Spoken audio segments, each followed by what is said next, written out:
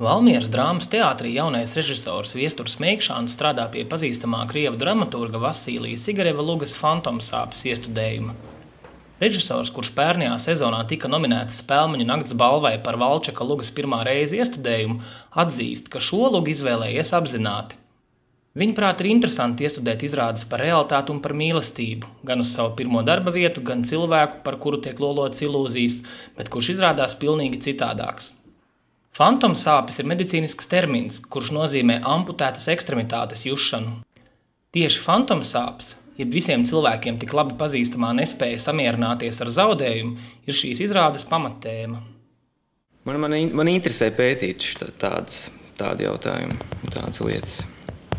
Cik reāli realitāte ir un, un, un un kur ir tā starpība ir, kad un tā, tā veido tādas izrādes, kad īsti nevar saprast, vai tas ir pa īstam vai nav pa īstam, jo, tiksim, tiksim, pasaules kinematogrāfā ir jau tāda filmu spēle, saucot, kur bija Maikls Douglas spēlēja, un, un, un tieši tā, tā pati struktūra, un, un, un, un, un, faktiski, ka filmas laikā nevar saprast tiešām, kas ir pa īstam un kas nav pa īstam, beigās tur tas viss rodās kā liela, liela traģēdija.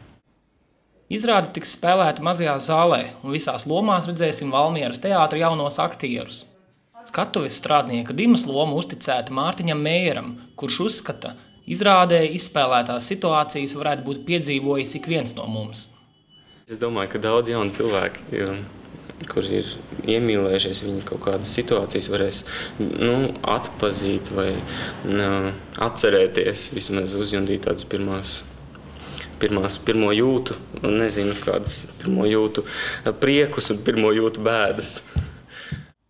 Viņa skatuves partnere Oļa būs jau zināmā aktrise Ilze Lietskalniņa. Oļa ir aktrise, kas nevar iziet no lomas un vēl joprojām spēlē jau sen pabeigtu izrādi ar jebkuru vīrieti, kurš uzvelk viņas mīļotā izrādes partnera brilles.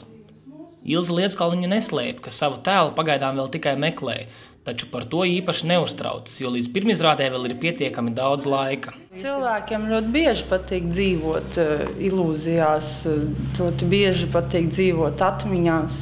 Man arī reizēm tā ir. Ja? un, un, un tas ir, nu, kad varbūt pa daudz aizraujas, varbūt tas nav labi. Tomēr tā realitāte varbūt nemaz nav citreiz tik slikta.